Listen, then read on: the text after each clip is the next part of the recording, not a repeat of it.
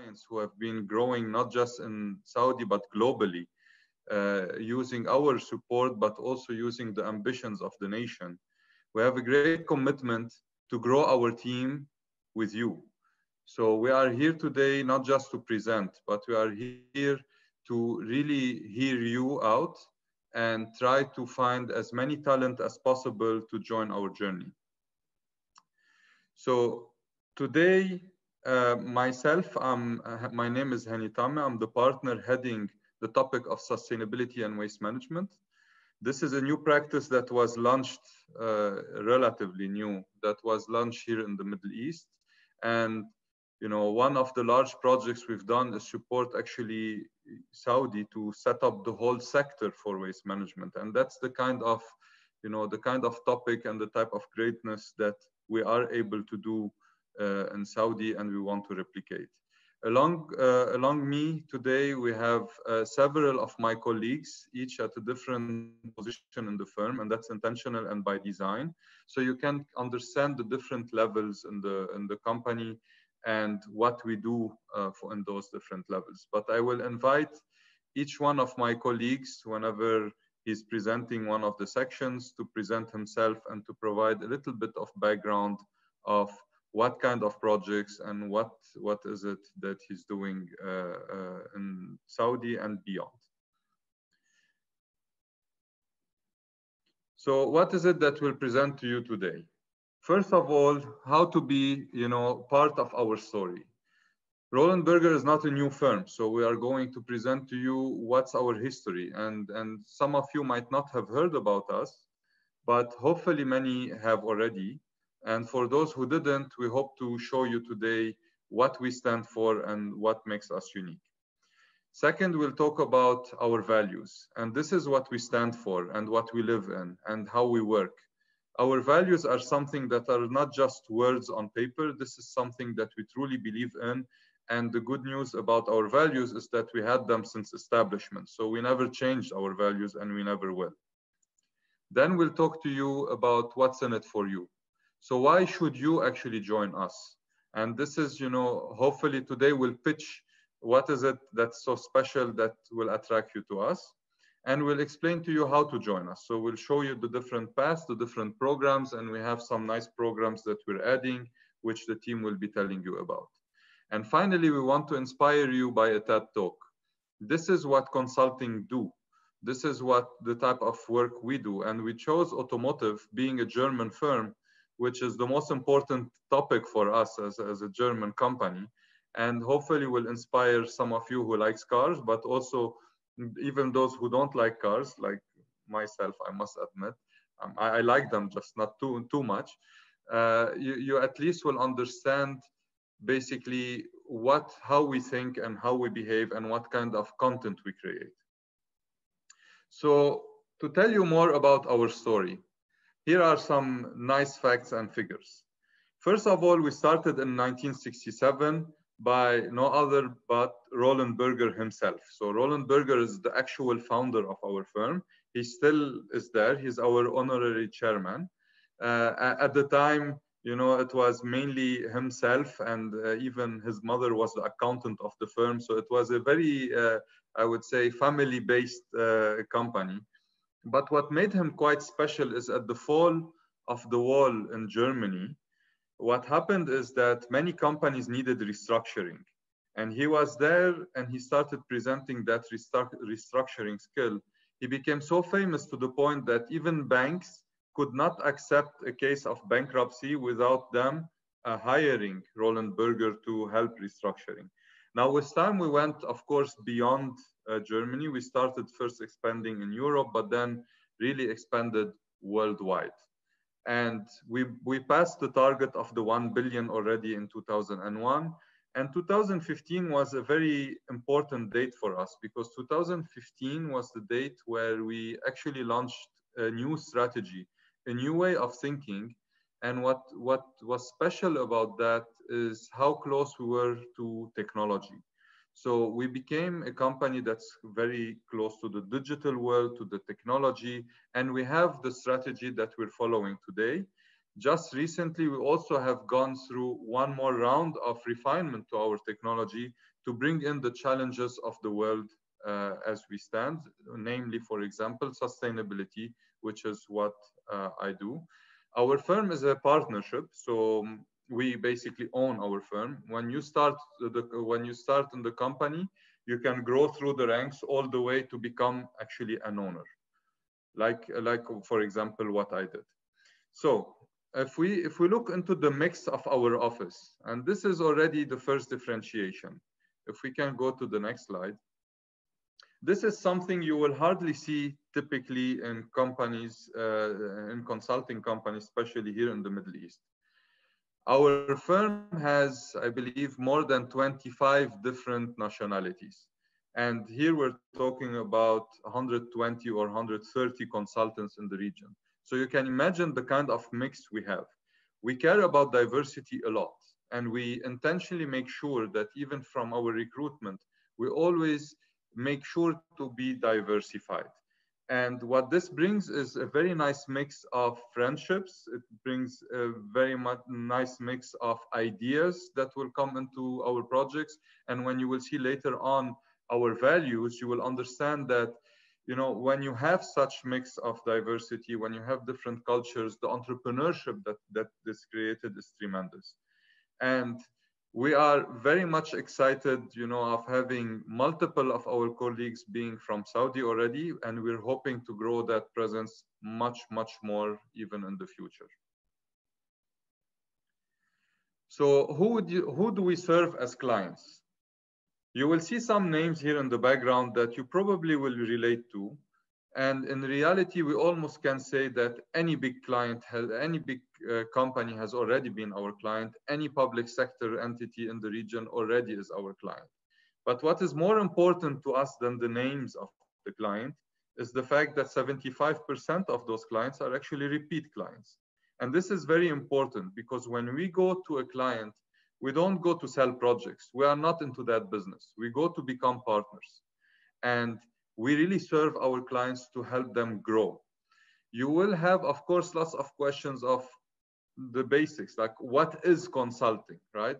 I like to give a, a small description uh, uh, to, to, to simplify it. And that's basically how I tell the people around me to better understand my job.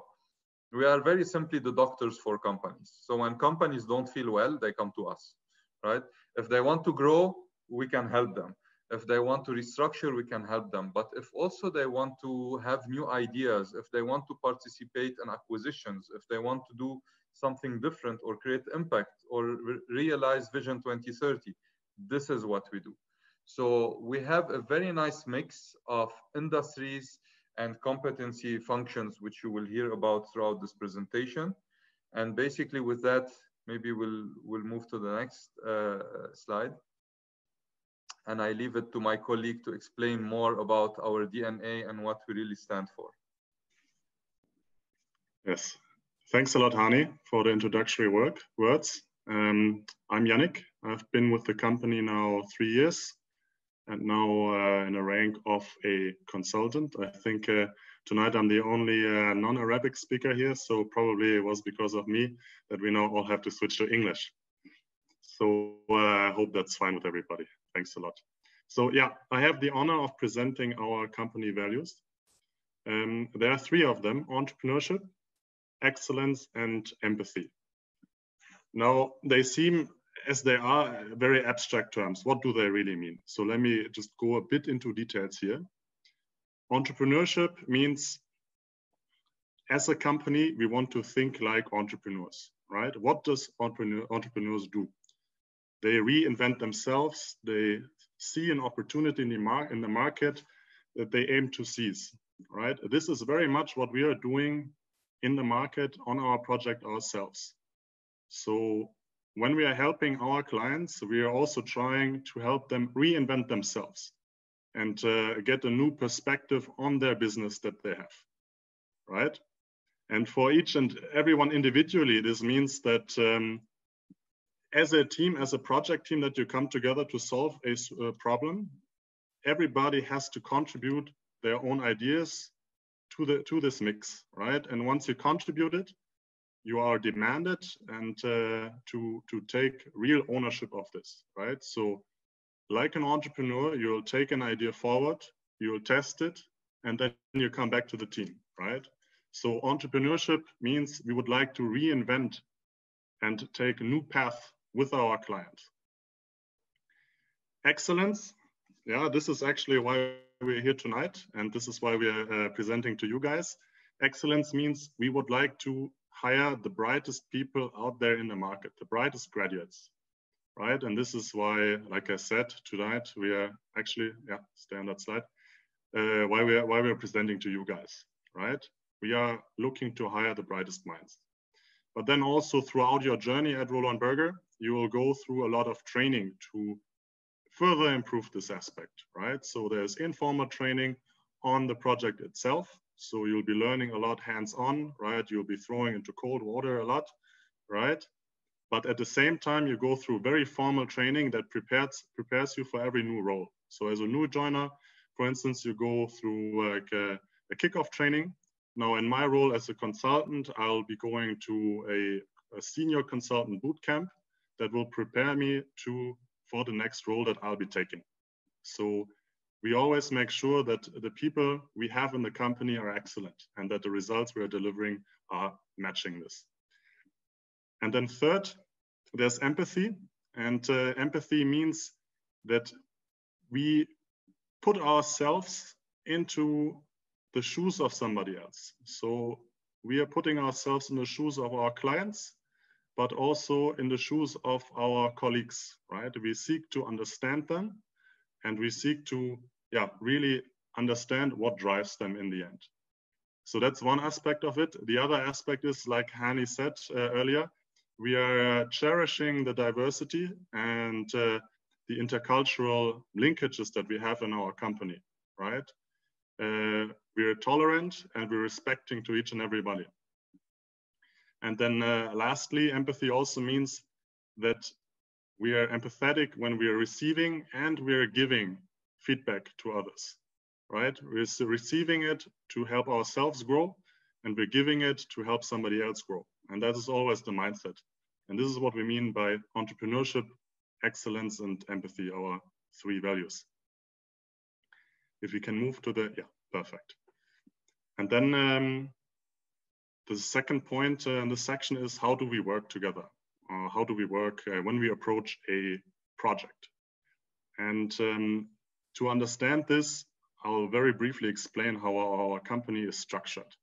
And uh, as you can see, we have industries and functions here. These are actually representing competence centers that we have at Roland Berger. So we have competence centers for automotive, chemicals and pharma, etc., etc. That means that throughout your journey as a junior, uh, once you become senior in the Middle East, you will uh, affiliate with one of these um, competence centers. And then this is where, like Hani, for instance, uh, in the in the area of waste management, this is where you will develop true expertise. So then in the future, and this is where I'm answering how we work together, how we work, when in the future then there is a project coming along that is, for instance, on waste management or that is on automotive, we will engage those people that have grown in that direction, right, that have the knowledge and understanding to help our uh, client in that respective field, right? And this is how we aim to staff the best people that we can on a given assignment of our client. client. And I think with that, we can uh, move on to the next section. Thank you. Okay, hello everyone. I'm Janil Haj. I'm a consulting analyst at Roland Berger. I've been with the firm for the past year.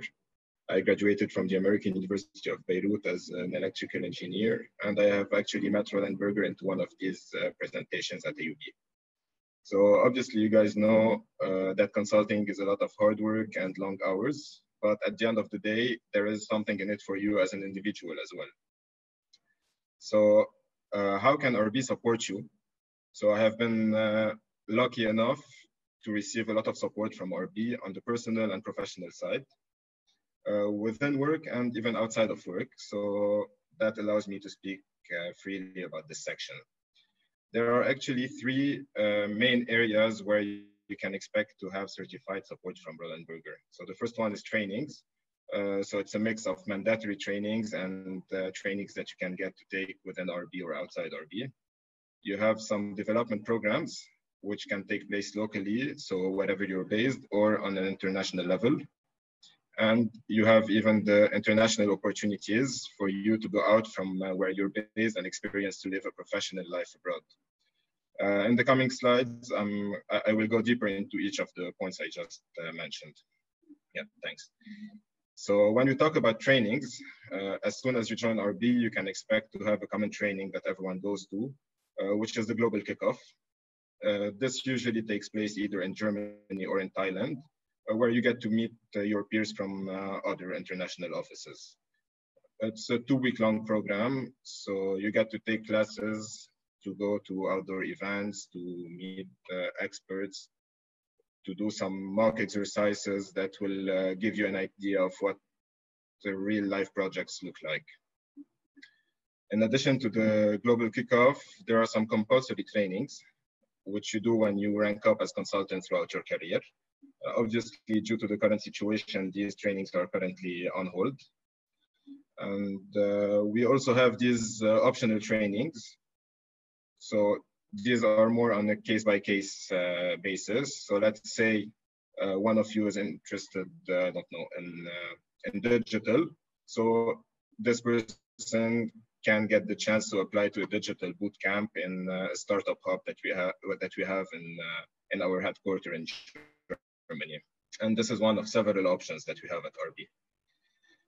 Uh, can you go to the next slide, please? Thanks.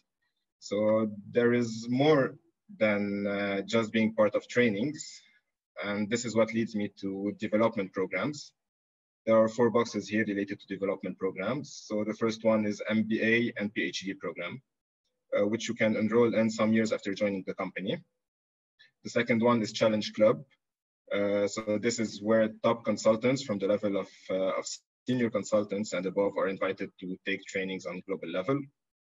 You have uh, CSR secondment, where uh, you can take a small leave to take a break from uh, typical consulting life and to work on something else. And finally, you have the fellowship program where you can get uh, to develop content for the RB Institute, which is a sort of, uh, of research institute that we have. So as a conclusion, whatever your future path might be, uh, you can be sure that RB will help you reach your objectives. Can we go to the next slide, please?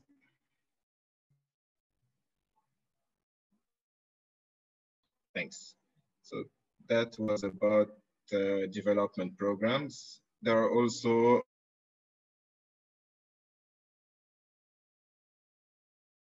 uh, the international opportunities I would like to talk about. Europe, US, uh, South, Am South America.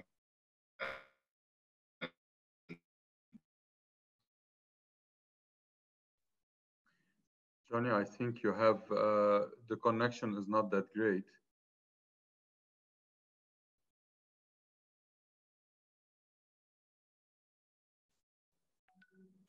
Yeah, so maybe I'll, I'll, I'll, I'll present uh, those slides until Johnny is back. Yeah. To increase the bandwidth. Is it better now?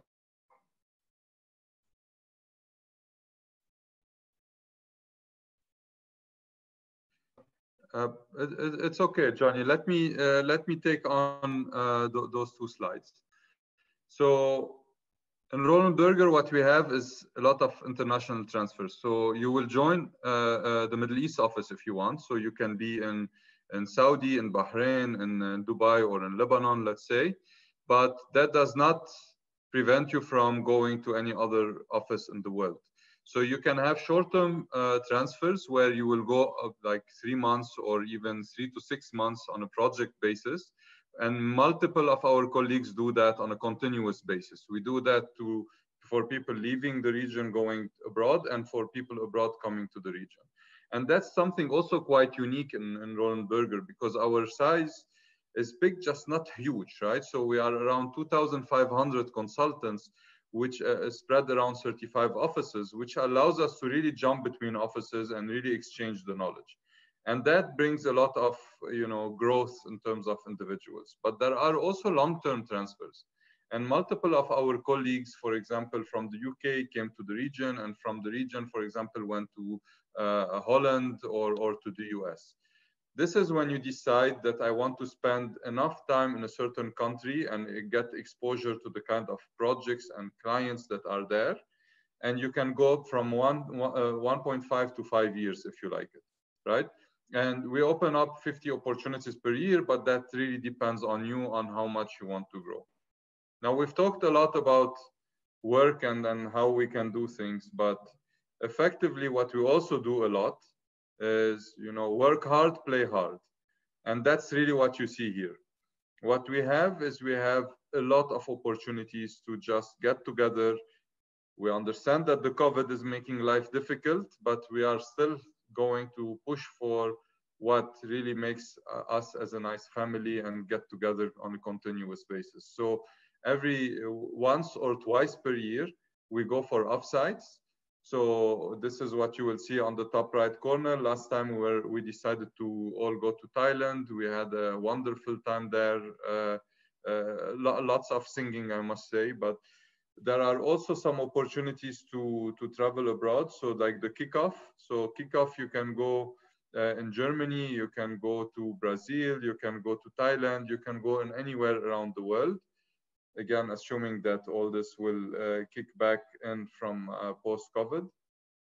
And we also have lots of events in our offices. So we go to Bahrain, we go to Saudi, we go to Lebanon, and we always do those uh, catching up. So whenever we need to do an update of the business, we like to get together and we like to also enjoy the time we are together.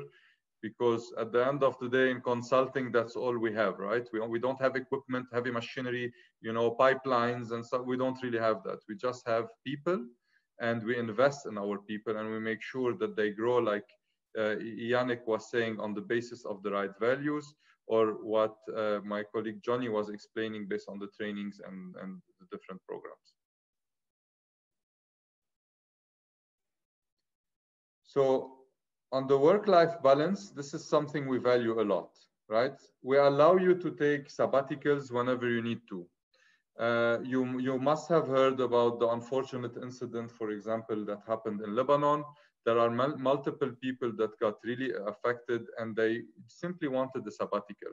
And we definitely directly gave them that. Some people have uh, maternity or paternity leave and they, or they want to go and spend some time to learn a certain language or to actually just explore something different in life. So they would take sabbaticals and we have that quite open uh, up to six months. We have the model of working part-time, especially for working moms, uh, where it is possible to, you know, come a few days a week or uh, come one week yes, one week no, etc. So we can work on that working from home even before COVID was an option. Now it just became more uh, uh, uh successful, I, I, must say, and more uh, required. Family-oriented support, and this is part of the empathy that Yannick also mentioned. We do understand that there are several situations when people should take care of their parents or their kids or their uh, any other member of their family or themselves. So we allow for such support to happen but not only just you know okay you can take some time off. No we have a community here. We have a wider family. Everybody would like to participate when you want them to.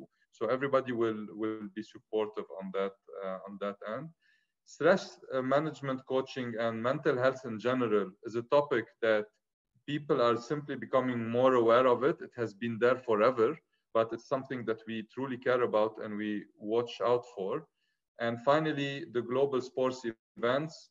I must say, you know, some people think, okay, consultants don't work out, but you'd be amazed by how many runners we have, basketball players and football players, and you know, all all kinds of sports. So we make sure that people do get the time to uh, enjoy their uh, hobbies, but also participate internally in our firm in such events uh, on a regular basis.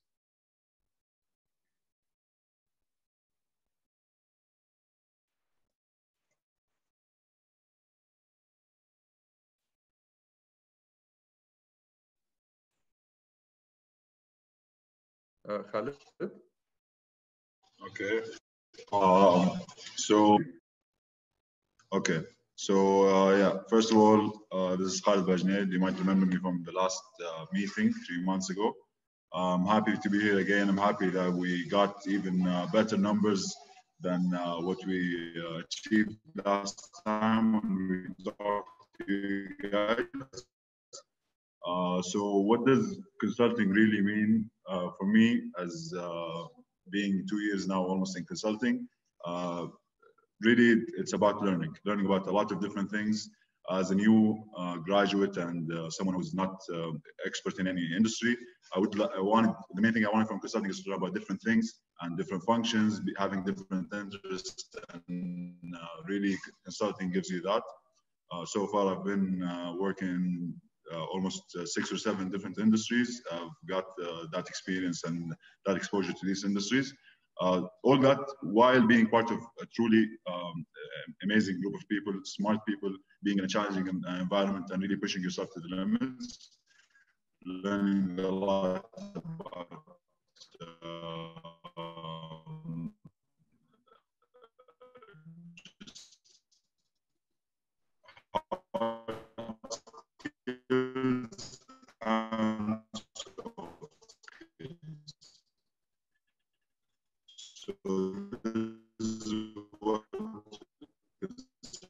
something really got me, and this is what I would say to you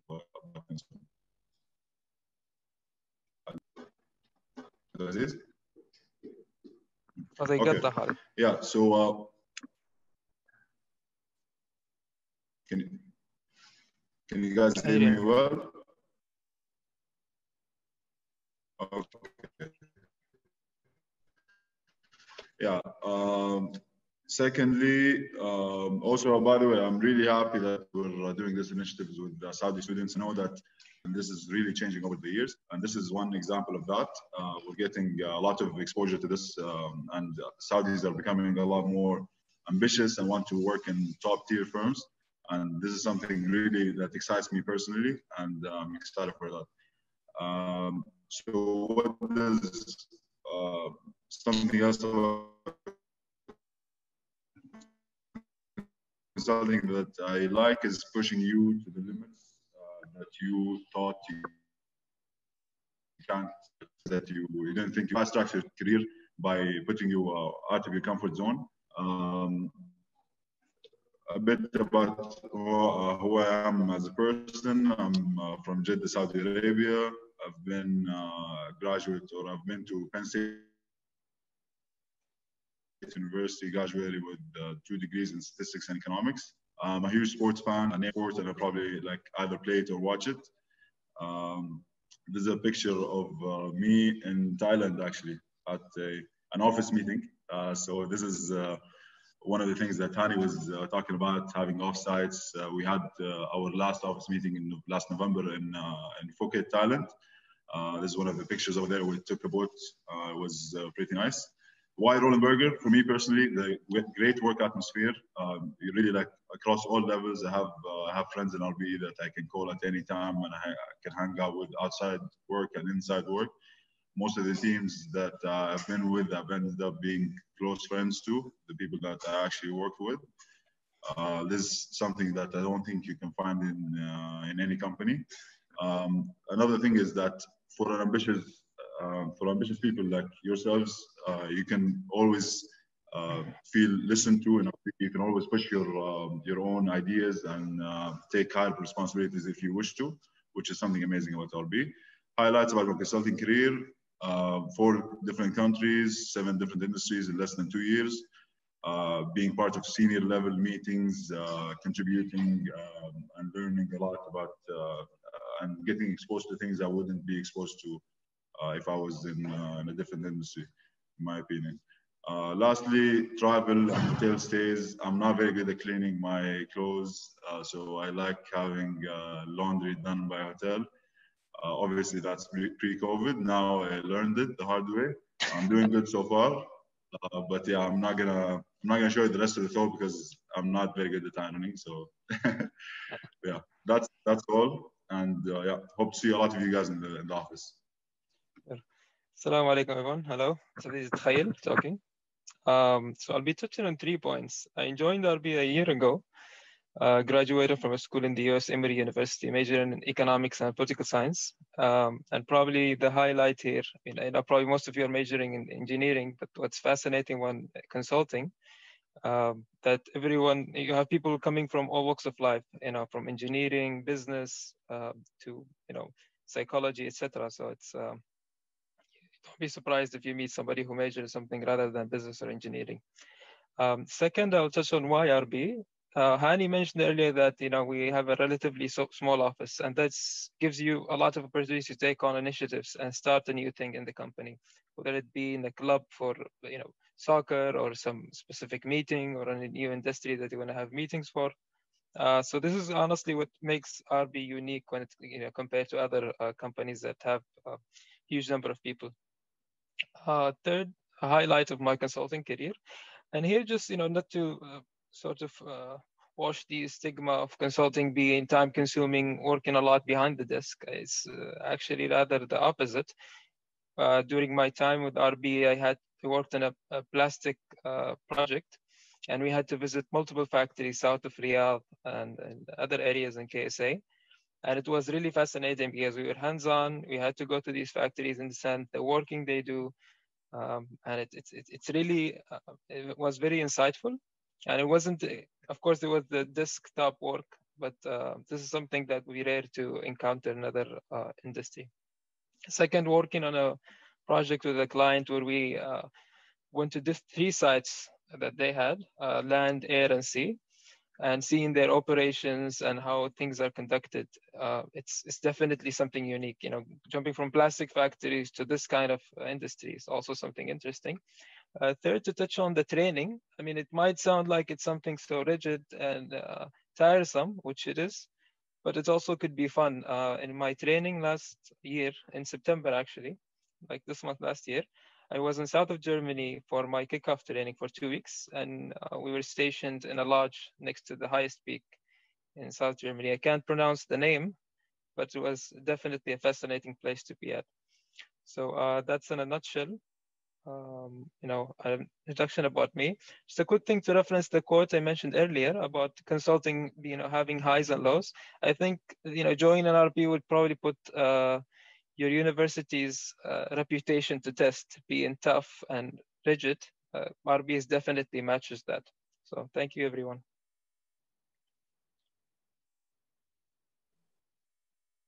Okay, exciting talk. Uh, this is Yasser Al Barakat. Uh, I am from Dammam, uh, Saudi Arabia, and I joined RB about a year and a half ago. Uh, right now, I am a junior consultant at RB.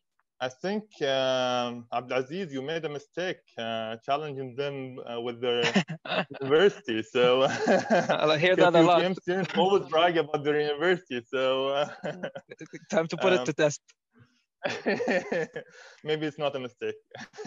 true, true. Okay, so um, today I'm gonna be talking about how can you join. Uh, so um, could you go to the next? Yeah. Oh, exactly. So right now we we basically um, value diversity, as Hani mentioned earlier. We uh, attract consultants from all backgrounds, and as you can see here on the left side, uh, we have uh, quite a bit of engineering, sciences, and business students uh, specifically. But uh, this is not the only students that, we attract. We attract all students uh, in general. And for the degrees, you see that the backgrounds that we take, we take pretty much everything, like from bachelor's to PhDs, uh, all over. Okay. Okay, so now uh, when you join, most likely you will be joining as a business analyst, and and uh, then this is the uh, career path that you have within RB. So as a BA, basically you will be mostly focused on research, market analysis, and uh, project support. So uh, you, you will get uh, guided uh, support from your senior colleagues. So you will be most likely working with a consultant or a senior consultant or, or even a PM. And as you move uh, within your career, uh, you will be a junior consultant where you will have more ownership over your tasks and you will uh, participate more actively in meetings and so on. And then as you progress within your career, basically you will be responsible for certain modules within the, the, the project, uh, leading to becoming a project manager, managing the whole project. And then toward the end, basically principal and partner, uh, they will be mostly responsible for acquisition, for sales, for uh, corporate development and leadership, basically. Okay, so today, um, right now we have the, the we, we have the Riyadh office and we are introducing co-op right now with KFUPM and we are targeting high potential KFUPM students. So uh, we are uh, right now introducing this program. Uh, the, uh, the link is, is already open and we have received some applications already. And right now, the key dates that we have for the co-op program is by the end of next month, by the end of October. So in one month from now, basically. So, so in October, basically, uh, this is the application deadline. Then in November and December, it will be mostly for interviews and onboarding. And then we are looking to start the co-op program in January. Okay, so right now, um, when you apply, what's gonna happen? Uh, you will apply and then you will, uh, and the application uh, we will do some pre-selection based on the based on your CV, based on uh, your uh, credentials, and based on your online assessment. And then you will get an invitation to three rounds of interviews. So the first and second rounds of interviews, basically, you will have case uh, interviews, and then you will have a personal uh, interview uh, part as well. And then on the last interview, you will have a final interview with a partner. So this is the, the process of interviews in general. And generally speaking, it doesn't take that long. So only apply, uh, so make sure that before you apply that you are prepared. And in the next slide, we will explain how you can prepare for the interviews. So first step is to find materials. So make sure that you have the, the, the material that you need for, for uh, the case interviews because um, if you are a good applicant, then you must like uh, invest some time in preparing for interviews and making sure that you are ready to do these interviews. So uh, some resources here are Prep Lounge, Victor Cheng, uh, and the case bo uh, books that we have from different business schools. Then once you have the material, basically, I would invite all of you to, to practice with colleagues, with uh, friends who are also interested in consulting and uh, to try it out, basically, because um, it, it's going to take some time before you start to master these uh, case interviews. And then basically apply when you feel that you are confident enough to pass the, the uh, interviews. Maybe right now I will, uh, if you go back to the previous slides, maybe it's we can do a, a, couple of polls just to understand the audience and understand basically uh, what what is the level that we are looking at right now. I'm, I'm just going to launch one uh, question, if you could answer it.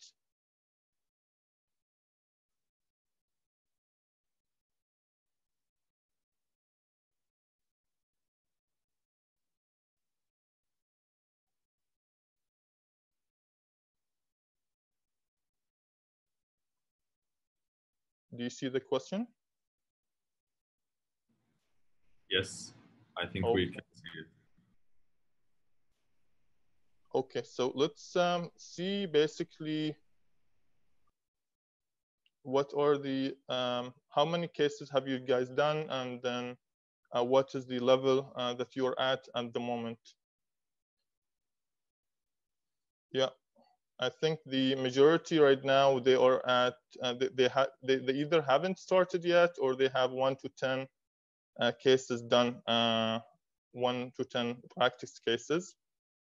And uh, what this means basically is that it's it's uh, it's very important for you guys to basically focus on the first part uh, to basically find the right material and prepare for the interviews. Um, and basically, if you feel confident enough, then that's when you can uh, um, continue with the process. Yes. I think we can move on. Uh, and um, right now, since Arvind is already here, we can skip the questions and go to the TED Talk, and then we can have one Q&A session after the uh, talk with Arvind. Arvind? Yeah, hi everyone. Perfect. Uh, yes, just a question. How are we doing in terms of time? Because the are... problem is that sometimes I, I start on automotive and I just keep on going. we are quite tight on time. We have okay. um, ideally 10 minutes, but I think maybe we can take a bit more. Okay, sure. Let, let me let me try to do it. Can extend that to whatever you need, guys. Perfect. Thank you so much. Good. So first of all, let me introduce myself. I think I skipped that part. Uh, I'm Arvind. I'm a senior project manager with Roland Berger. Uh, I've been with Roland Berger for the last uh, eight and a half years now. And uh, my focus, as you can see on the topic, it's, it's automotive. And uh, I've been working, let's say, in the region for now three, three and a half years, and uh, specifically quite a lot of action happening in KSA. So let's, I mean, like we will, we will go through this particular, uh, some of these slides and uh, where I'll cover more of, let's say, the automotive sector in general, and then get a bit more into what are the kind of projects which, which we would be, I mean, like, which we typically do and, and how it would look like for anyone. Perfect. So first, uh, if we look at the automotive value chain itself, um, it's it's quite a complex one in the sense where if you look at it from the engineering uh, perspective to manufacturing until the vehicle ownership and recycling, there are quite a lot of uh, uh, companies, quite a lot of stakeholders, um, which which need to be managed. So that way, uh, if you look at, for example, in engineering, well, I mean, like you, you can look at it from materials side, you can look at fuel systems, uh, and that with electric coming up, that that's opening up a, a, an even bigger, uh, let's say, research related part.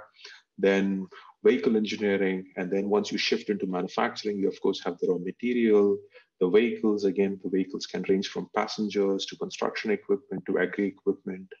Um, and once you move into the sales related part, you have the retail part of it, then you have the fleet management side. So that way, the, the life cycle of a, a vehicle or a car is, is, is quite long and tedious. Uh, and as you may see, there will be, of course, challenges across each and every part of these particular uh, areas. And that's basically where uh, my focus area is. I mean, like, and I, I would say we, we focus on most part of the value chain. If we move to the next, next slide, let's skip uh, this COVID one. Yes, maybe even next one, please. Yes, the main. Yes, thank you. So if you look at what's what's happening in this in this sector right now, uh, what what we have developed is something called as the MADE framework, uh, which is to evaluate what are the key mega trends which, which are right now uh, impacting the industry. So if you look at what, what this MADE stands for, one is, I mean, like M is mobility. Mobility is where people are shifting from owning to more of a shared transportation, uh, where uh, what we say is usership to, sorry, ownership to usership. And I'm pretty sure a lot of people who are participating in, in this call are already thinking about not owning a vehicle, but rather only using a vehicle. Uh, and at least I know that some of my colleagues are, I mean, like definitely fans of Ubers and Careems and not exactly owning vehicles. So that way we, we can see this, let's say, shift which is happening across the regions even today. Uh, the second, let's say, mega trend is the autonomous side of things. Uh, autonomous, uh, let's say a few years back, was uh, was kind of uh, hyped up as, let's say, one of the biggest trends, or let's say something which is going to keep coming up. But in the recent past, uh, this has kind of subsidized, um, it's uh, kind of toned down a bit. And autonomous, while we talk about more of driver safety related mechanism and so on, which will come up in the next few years. But pure autonomous, uh, I mean, like not listening to Elon Musk is still a few years away for sure. So it's it's more the later part of the decade where you will see more of, uh, let's say, hands-off kind of driving, like level four kind of autonomy. Uh, the autonomy where level five, where the driver itself is not required, that's still going to take beyond 2030 at least. Uh, in terms of the third one, which is digitized, it's more about connected car, V2V kind of message, V2X uh, related architecture. So that is something which is kind of catching up, where uh, vehicles are getting more and more connected. And uh, you also would have i mean like so, some part of it is also aligned with let's say the autonomous part where you're able to kind of make sure that the vehicles talk with each other so they share their sensors. So that way you you can kind of drive towards it. So digitize is more like a, a, a pre uh, this one trend for the autonomous to eventually come up and the last one which is definitely not the least which is happening across uh, is the electrification of the powertrain. So here we see that uh, vehicle from your normal internal combustion engines, it's, it's shifting more towards uh, pure battery electric vehicle. Uh, and if we look at uh, Volkswagen, well, like they recently launched the ID3, the ID4. So that way, the your conventional OEMs have now started picking up their pace and they are kind of like coming coming like really aggressive. So in the next, uh, let's say three to four years, you should have a few hundred models which are being launched, uh, which will be just pure battery electric vehicles. So that's the the hottest segment which is there right now, and there's there's quite a lot happening on that front. If we move to the next slide. Yes, uh, if we look at how these four mega trends are going to evolve. So it's not that all of them are going to evolve at the same pace or uh, let's say for example there is going to be a single end state and that's also the the, the challenge which almost every player in, in the value chain is facing right now which is uh, where do we see this moving forward right if if the regulations change in in any of these countries uh, and again for example the us or europe if there are regulatory changes which support more of autonomy then of course it shifts much more faster. Uh, if we look at uh, no major regulatory push, then you would have a much slower uh, adoption of these technologies. But eventually, the end state is where you will have, let's say, fully autonomous robocabs kind of uh, a future. Moving to the next one. Yes, what this means for the the players who are there. So on the left, you have your typical traditional OEMs, the new OEMs, the OES's original equipment suppliers, and so on. But if you look at more towards the right, it's more of service providers, right? So it's mobility service providers who are going to be more of uh, the the ones which will take uh, the uh, the share of profits. So that way, what we have today is that on the left, the traditional OEMs and the OESs, they have to really look at how they are going to address the new uh, trends. Uh, and like I gave the example of Volkswagen, uh, where they have to shift from yeah, their conventional uh, ICE engine to more of EVs. What that also means is once you shift towards electric vehicle, your requirement for let's say mechanical repairs and so on kind of drops down quite uh, quite well so that way if they have an external third party network then where do those uh, parties kind of go and earn their profit margins. So that's a huge question mark. Uh, for tesla for some of the new players that's the reason why they are also addressing that they will have their own distribution network. The advantage is that one, the customer experience is much more standardized, but at the same time, you don't have to depend on a third party who is going to kind of try to extract margins from the customers. So that way, this particular area is, going to uh, change quite a lot. And as you can see, there is also a gray part on the right, which is out of business. So of course, there are going to be a few players who are going to go out of business eventually because the profit margins are going to be only so much. Uh, moving to the next one. Yes, so specifically looking at KSA. So as a part of one of uh, the, the studies which we launch every six months, which is the Automotive Disruption Radar. So that tracks uh, uh, the, the disruption in automotive across uh, 30 different uh, cities. So if we look at uh, this ADR, we have included Saudi Arabia as a country in this particular study. The other country which is there is UAE in the region. So if we look specifically at the results which we have got for KSA, uh, one of the things is, I mean, like we, I, I was personally quite surprised in some of these, uh, let's say, results. Uh, in fact, we missed out one of the, uh, let's say, more, even more surprising result, which is in terms of how open would you be to buying an electric vehicle? So I think in that one, Saudi Arabia scores like in the top five where people are willing to buy an electric vehicle. Of course, there is no uh, charging station or let's say there is no infrastructure which is available today. But then from a mindset perspective, people are more than happy to buy uh, an electric vehicle. So that way, it's, it's, it's really something which we need to take into account where uh, KSA already has a 5G rollout. KSA has these shared mobility related areas. We are also looking at uh, uh, shared mobility related uh, usage also increasing. So that way, what uh, we can at least expect in KSA is that with the right regulatory push, a lot of these things or a lot of these trends would really expedite in, in the market itself.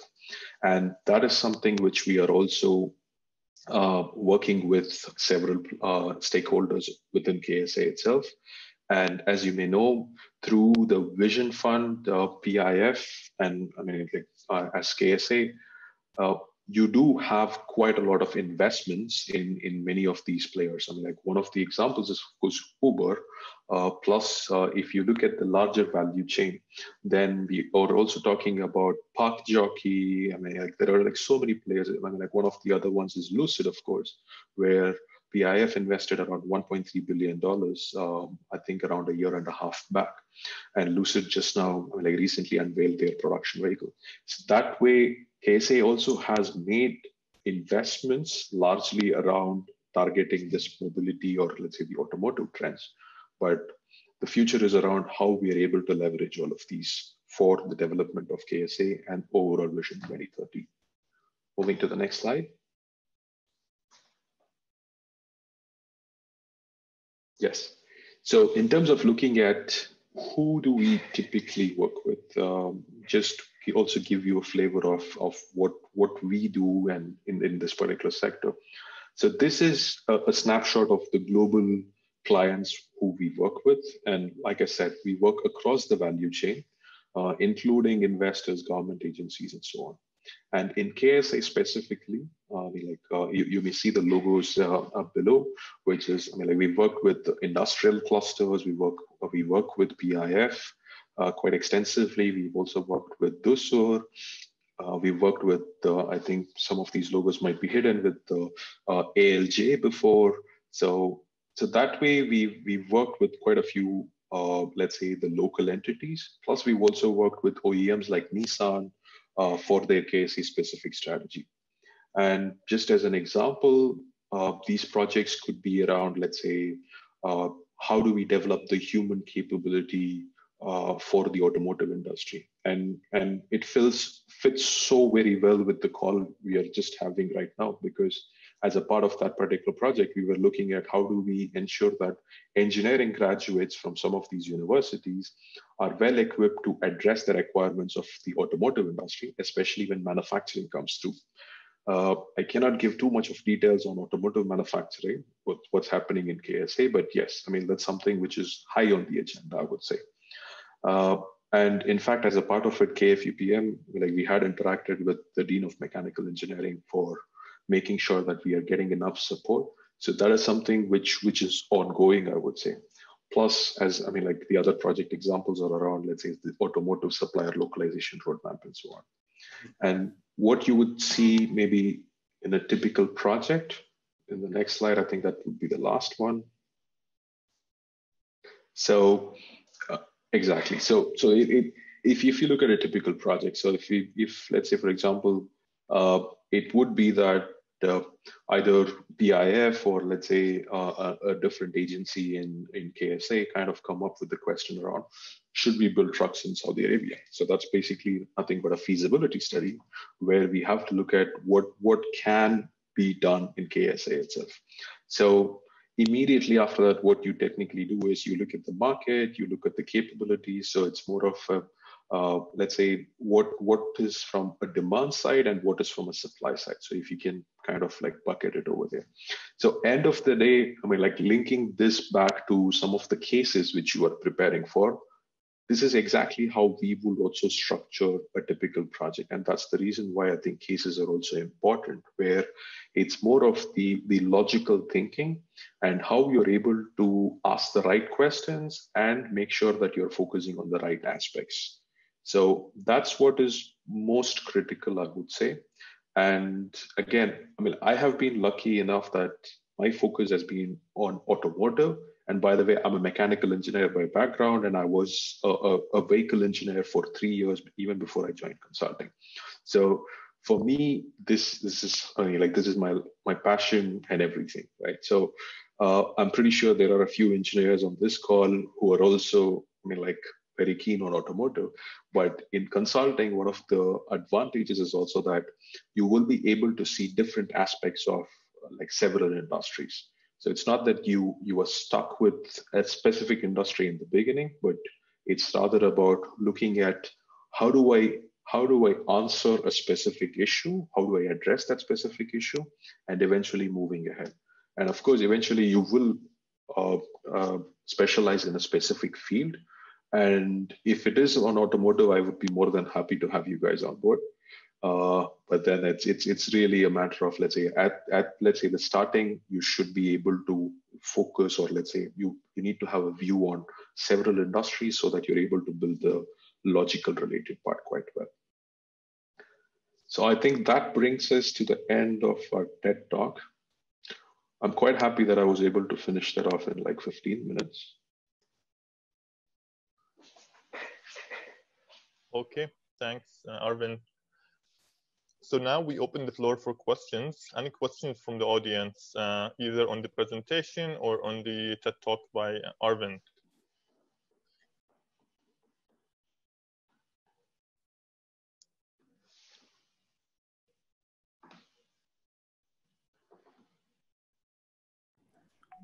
Okay, guys, thank you. Uh, thank you, everyone. Thank you, CJ uh, and the uh, RB team. Thanks for Hani.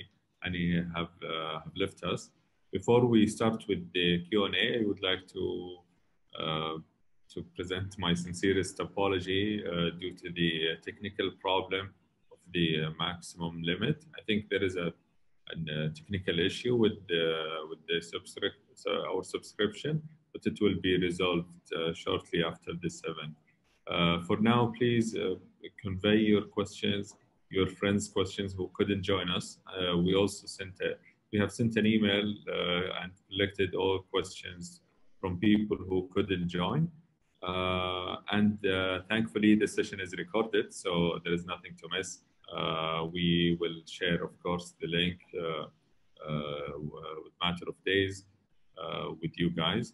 For now, uh, Yasser, I have sent you the questions uh, via WhatsApp. I think you should be able to start tackling them, and they'll be here to assist if needed.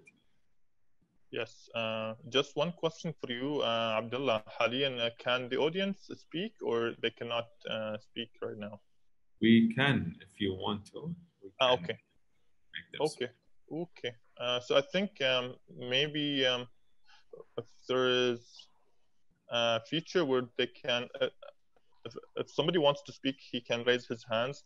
Can we have, do we have this feature here?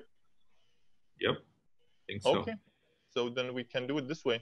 so if uh, anybody has a question from the audience, uh, he can basically raise his hand and then uh, we can. Uh, we have Ahmed Al Awal already. Okay. So let's hear from Ahmed.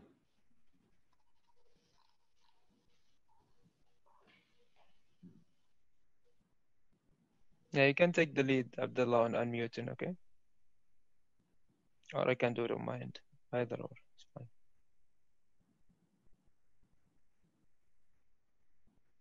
Uh, Assalamu alaikum. Wa alaikum salam. Uh, I have a question for CJ about uh, construction uh, of vehicles in Saudi Arabia. Please go ahead. Yeah, the question is, uh, isn't isn't it more complex to construct uh, electric uh, vehicles in Saudi Arabia rather than uh, constructing an uh, ICE engines uh, vehicles? Because the, I mean, the we don't have places for like charging electricity for cars. That will be like a huge project. I mean, we are talking about maybe 10 years or maybe 20 years ahead rather than if we can uh, create uh, or reconstruct the ICE vehicles here in Saudi Arabia? Yeah, that's a good question. Uh, yes. So in terms of looking at electric versus ICE vehicles, so if if we look at uh, internal combustion engines, so if if we look at how the market is evolving right now, um, there are quite limited investments which are happening, even from the manufacturers, in terms of getting more technology from the ICE engine, because you have so such stringent emission standards which are coming up in the US and in Europe that it doesn't make any sense for manufacturers to be optimizing internal combustion engines any longer. So what they are going to be doing is they're going to pump in a lot of their money into developing hybrids and electric vehicles. And that being the case, what that means is they also will not be investing too much into additional capacity with respect to internal combustion engines. So if we if we look at it that from that particular angle and from a future growth aspect, right? So as as KSA, I mean, like, what what would I want to invest into? I mean, like, would it be a market segment which will decline in the next 10 to 20 years? Or should I be looking at a market where I can invest into and it, it has a significant growth potential, not only for the next 20 years, but even beyond? So it, it eventually comes into that particular area. Uh, and given that, and in fact, one of the biggest advantages for KSA is that you don't have the baggage of an existing ICE production, right? So you don't have any vehicle production with respect to cars today. So if that is the case, then you should rather focus on investing into electric vehicles so that it's not that you invest into one particular item and then you you upgrade to the next one. Uh, maybe just to give you an example, I mean, I'm, I'm from India. So if I look at how the telecom market evolved, so if you look at, uh, uh, I mean, like you, you of course have your landlines and then you have your mobile phones. And uh, if I look at 25 years back or even 30 years back, uh, having a landline in your home used to be a big issue. Uh, in the sense you need to get the license, the, the, the company has to come and set it up. So there used to be a long waiting time. So if you look at it as a, as a, a gradual or a linear growth, then of course by today only let's say 40 or 50 percent of the population would have had phones but then instead of going through the landline, landline route they took a mobile phone related part but look at where we are today. I mean like we're talking about a billion plus mobile phone connections over there. And that's one of the areas where you have the the lowest rates for data and so on. So that's basically all about leapfrogging. So you're not bound by a specific technology, but you're going to the next level. So while today it may not be a big, or let's say it, it may not be the most attractive thing for KSA from an electric vehicle side, but the future holds good. And that's basically where the market is. I hope that answers your question, Ahmed.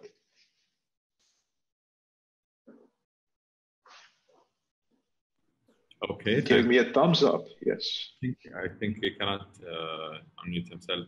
Uh, I hope it, uh, it does. You can uh, text also uh, or uh, write me a message or write CJ message. Uh, thank you, CJ, for your informative answer. Now we will go with Abdul Majid. Abdul Majid, you should, should, should be able to. Yes.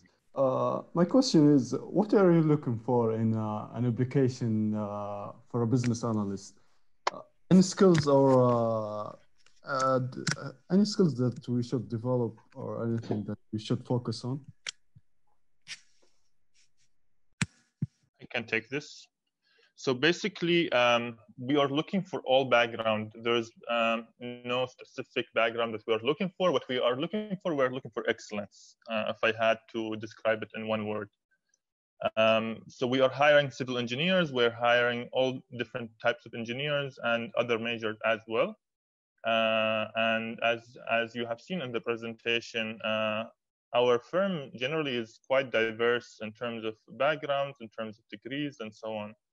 Uh, in terms of preparations, I would say that uh, you need to first work on your CVs and work on your uh, cover letter because this is the first thing that we read when we uh, do the, the, the pre-qualification basically.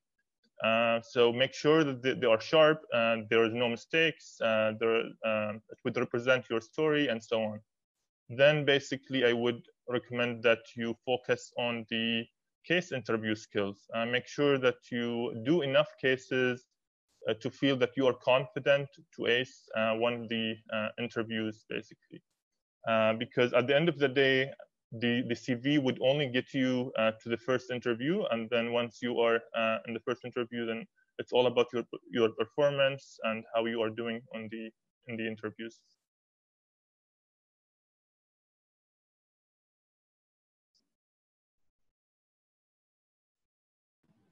Perfect. Thank you, Yasser.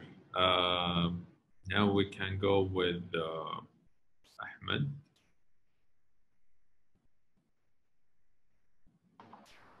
Uh, yes, Assalamu alaikum. Uh, I have a question. Uh, does uh, Roland uh, Berger uh, hire the civil engineering student? And uh, if the answer is yes, uh, what is uh, the work or consultant uh, in the field of uh, civil engineering that uh, we can work in it? Thank you. Yep, that's that's a good question. In general, as I mentioned, yani, we, we, we hire all majors. Uh, there's no um, specific major that we don't we, we definitely welcome this diversity. We value this diversity. And if you are coming from an engineering background, it doesn't necessarily mean that you will be working on an engineering technical project. So as you know, yani, consulting, um, it, it, it, would require lots of skills and there's lots of uh, soft skills as well that you will be learning on the job during your uh, first uh, couple of weeks on the project. And uh, so you could be working on one day on, on an automotive project and then on the next month you, you could be working on um, an engineering project um, in the engineering industry and then next month you could be working in the public sector and so on. So not necessarily um, you will be focused on one industry especially when you first join as a business analyst. Uh, so when you first join usually you will do multiple projects in multiple industries and then as you progress in your career that's when you specialize in one industry.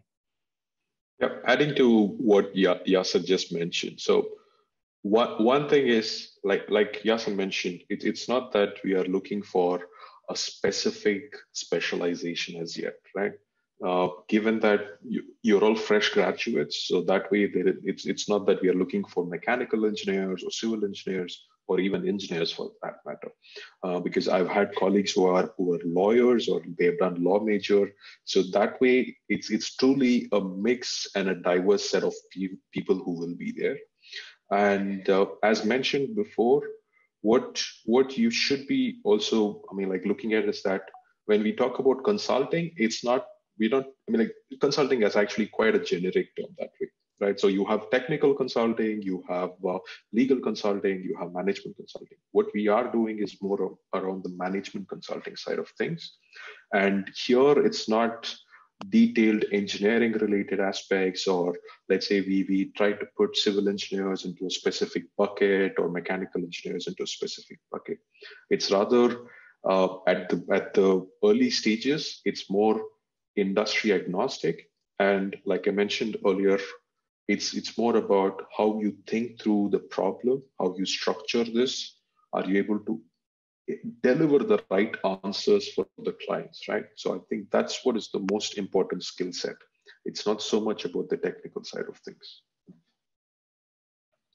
Yeah, just a quick note to add to that to everyone, um, because I remember being in their shoes a couple years ago. When it comes to consulting, especially for you guys, it's not that you will be uh, you are you know applying for Aramco or for one of the other companies where you know exactly it's going to be very engineers engineering focused. Where you if you are chemical, we do chemical related stuff. If it's uh, electrical, we electrical, etc. Rather, you will be you know what you learn in engineering in essence. It's you look at the problem, whether it be in an engine or a you know plant or whatever that is. Uh, you dissect it, you synthesize what's the issue, what are the proposed solutions, and then you present that to your manager with if, if you, you know if you're working in a team, and then to the client. And in essence, that's what consulting is about: having the skills to synthesize, you know, knowing how to collect data, how to read data, how to interpret data and present them is what uh, consulting comes down to. In addition to having really interpersonal and communication skills. So uh, I would say it's, it's not a job where you you know you applying to us and you expect to become a titled engineer. You know you would leave all the engineering expectation. Uh, I'm talking about a traditional track behind, and in consulting you would venture into something completely different. Of course, you'll be using that as Arvind uh, hinted to in his presentation, but it's it's it's it's in essence about these skills, synthesizing, you know, uh, understanding issues and presenting solutions to them. Perfect. Thank you guys for your uh, informative answers. Uh, we have questions. A question from Ahmed. Um, good evening, uh, RB. I'd like to ask you, when are you going to open the application for the BA position? And thank you. Thanks, Ahmed. Uh, it should be already open right now. So if you go to the uh, website, uh, there is a job uh, position that's already open. Um, is it a business analyst or junior consultant? I'm looking for the business analyst position. It is the business analyst position. So this is the entry uh, job uh, position that we have. Okay, great. Thank you. Okay, thanks, Ahmed. Uh, now we'll go with Faisal. Faisal, you should be able to un unmute yourself. Yes, um, thank you for the opportunity. Um, my question is regard to the uh, the co-op opportunity. Um, can KSU, KSU students apply for this uh, opportunity or not? Or it's just KFU PM? Right now, we are targeting KFU PM specifically. Uh, so uh, KFU PM students will be given the priority, uh, but uh, you are uh, more than welcome to apply as well.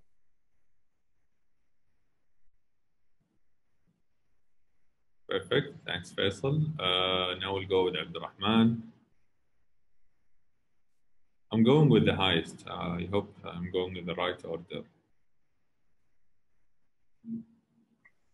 Um, hello, everyone. Can you hear me? Yes, we can. Um, my question is a bit general, and I'm suffering from this problem. Uh, what should I write in my CV to make it presentable and show my soft skills? Because I cannot just say bullet points of my soft skills. How can I show you that I have the right soft skills? For this. Maybe if, if Arvind, do you want to comment on this? No, I think uh, Arvind had to leave us. He is on the next call since we were scheduled uh, only until uh, 7 p.m. But uh, can you just, so uh, are you talking about your CV or your uh, cover letter? Ah, you can't answer. Okay, so generally the CV. CV. Okay, generally I would say in, in your CV, um, you would have a section on your education and you would have here a section on your, um, let's say, work experience. That could be internships, right? Where you're describing in a few bullets what you have been doing. And then typically what I have done in the past when I was applying, I had a section on, um, I called it extracurricular activities, right? That was about let's say softer things that I was doing on the side. So whether that is, I don't know, I was I was teaching students uh, English or math back then, for instance, right? Or uh, you you can mention the passions that you have on the side in that section. So whether that is okay, you're competitive basketball player of a certain level, or you are a passionate violinist, something like this. This you can describe there, and this is uh, perfectly fine in my opinion to also put this on the CV, right? just overall as a recommendation, I would always just keep a CV to like one page. Um, keep it to the key, key points, uh, and that should be good. And then uh, there's always the opportunity to also convey these soft skills then um, in the cover letter where you're describing a bit why you're applying and uh, showing how you are bringing the sufficient or the right skills to the table. And then eventually these things uh, will then also be put to the test during the interviews. So um, I think there's plenty of opportunity for you to convey that. Uh, one thing to add on this, uh, this is honest. Uh, I, I, totally agree with everything that uh, Yannick mentioned. And on top of this, I would say um, the obvious, which is um, do your homework before you apply. Read uh, the company, uh, read the requirements and everything, and make sure that when you write the CV and you write the cover letter that you are corresponding to this. Uh, so we see generally lots of applications where people would with uh, with strong credentials and everything, but um, when when they apply, when we read the uh, the CVs or cover letters, we see that um, this is the same CV that they have applied for for um, uh, engineering firms, for example. It's, so it's it's not clear for us why uh, they are interested in consulting. So showing interest in consulting, uh, I think uh, this can be uh, one good thing that you can improve on your application.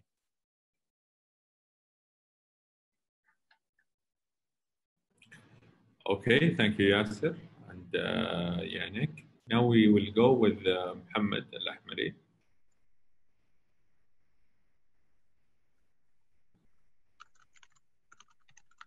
Assalamu alaikum. First of all, I want to, to thank you all for giving us the chance to see this presentation. My question is, uh, I am a graduate student uh, with a BS degree in civil engineering. Let's say I do not have chance to go to any consulting company and I go to the construction fields or then transportation, transport, transport, transportation fields for let's say six months or one year and I want to come back to the uh, cons uh, consulting field. Is Roland Berger uh, accept just a fresh graduate or with any experience? This is my question. Thank you. Yeah, so basically we accept um, all people. Uh, maybe uh, Abdulaziz, if you can go to the uh, to the slide that we talk about the positions. If you go up, the presentation, yeah, a bit more.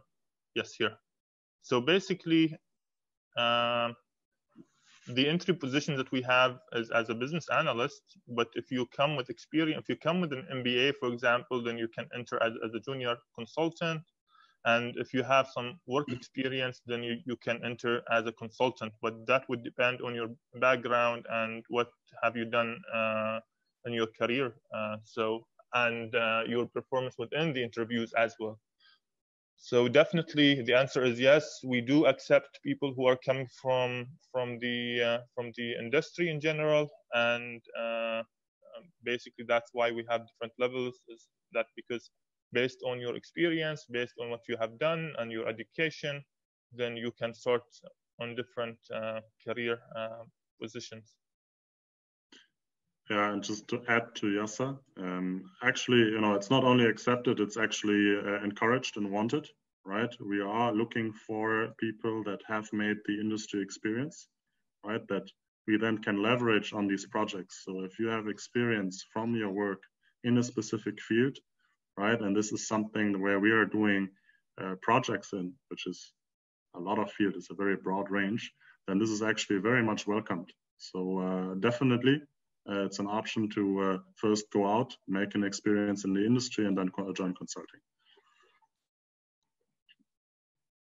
Okay, so I think we have time to take one more question, one last question before we close. We have to close at 7.30. Apparently some of us have meetings, but one last question.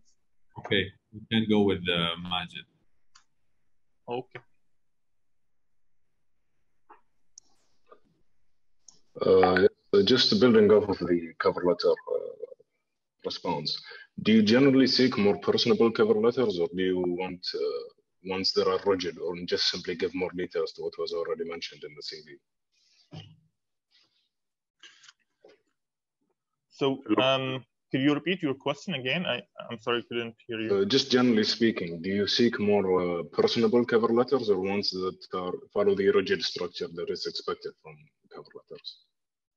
No, there is no uh, rigid structure. It's just a cover letter at the end of the day. And what we are looking for is that the CV would give us um, some information, key facts about you, but then the cover letter will be an opportunity for you to convey your interest, to to basically um, share with us information that is not on the CV. Um, and uh, basically, we, yani, cover letter would give us another perspective uh, about you. And it is one of the tools that we use to evaluate candidates.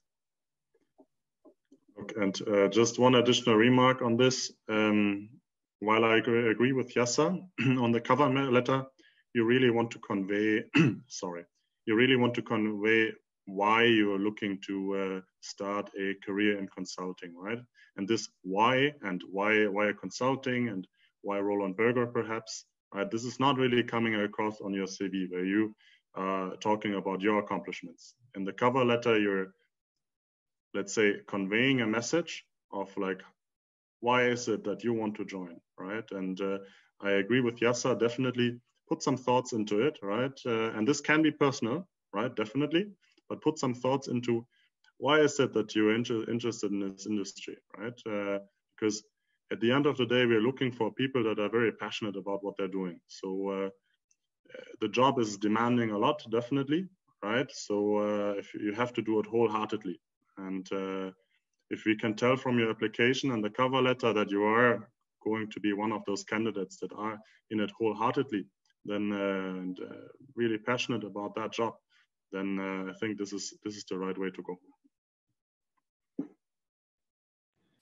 Perfect. Uh, thank you, Yasser and uh, Yannick. We are very happy now to, to conclude our session today. Uh, unfortunately, we couldn't cover uh, all the questions, but of course, you're more than welcome to connect with uh, RB at social media, their social media accounts, and ask all your questions. We do have one final poll before we end.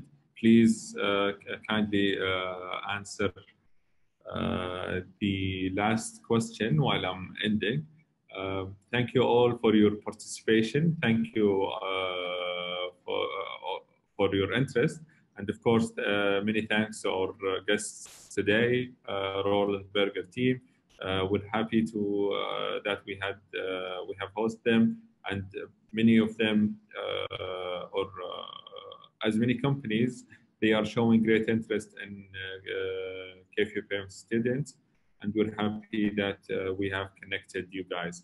Uh, at the end, uh, please make sure that you follow all our social media accounts at Twitter, LinkedIn, also at our website, cakeconsultingclub.com, uh, where you can find many resources that help you to join uh, top consulting firms, where uh, and also where we answer many of the questions that you uh, you ask uh, for each and uh, every company visit.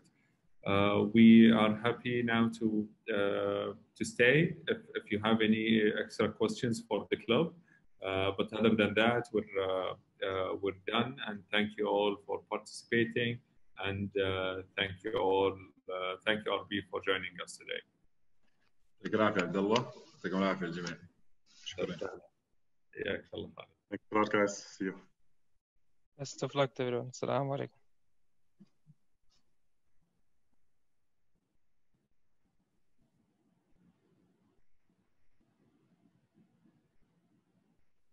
يعطيكم العافيه جميعا يعطيك العافيه يا عبد الله الله يعافيك حياكم الله